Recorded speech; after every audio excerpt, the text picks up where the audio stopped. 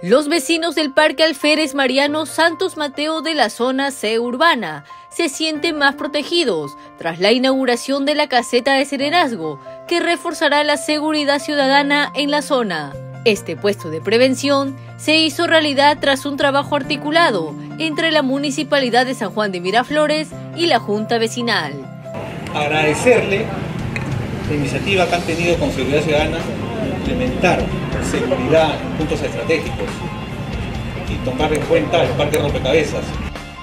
El alcalde Daniel Castro Segura inauguró la caseta que estará interconectada con todas las unidades móviles de Serenazgo y contará con un personal de sereno durante las 24 horas del día, a fin de atender las emergencias y situaciones que se presenten.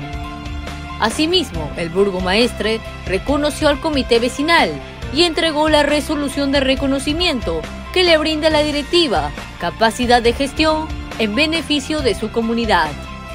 Seguimos trabajando para ti.